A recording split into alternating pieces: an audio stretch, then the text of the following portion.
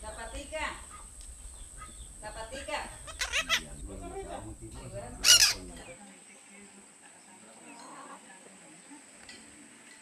Yo siempre digo que, por ejemplo, aquí no pasa nada. ¿cierto? Para lo que pasa en las otras ciudades, en Medellín, para allá, aquí estamos en, en- un paraíso, ¿entiendes? Porque los problemas de que hay por aquí y eso, eso no es ningún problema. Eso no es sino saber vivir uno y más no. ¿Cierto? Aquí se vive sabroso. Aquí puede salir uno para cualquier lado por ahí y a cualquier hora y no hay problema. Lo importante es que sea conocido en la región también, ¿verdad? Porque ya desconocido si la cosa cambia. En los años 80 o no- 90 también hubo presencia de guerrilla en, Sí. la, en la región. Sí. Pero bueno, me dijeron que se ubicaban más en Valencia, en Tierra Alta, etc. No, por Pero aquí también. También.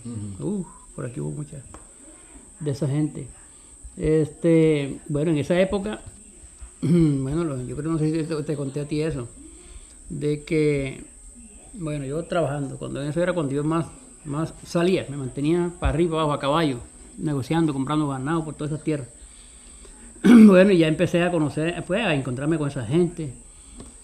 Y ya empezaron a pedir, me pedían de tres pares de botas, tres pares de, ¿cómo es? Tres mudas de ropa, tres reloj Orient, tres estrellas, decían ellos, era fino.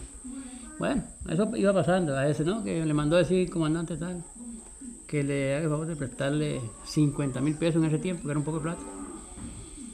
Yo aquí pensé, la- bueno, yo no tengo 50, usted sabe que yo me mantengo luchando por ahí, rebuscando por todo eso para ganarme la platica, pero vamos a hacer una cosa, yo le voy a mandar la mitad, ¿entiendes?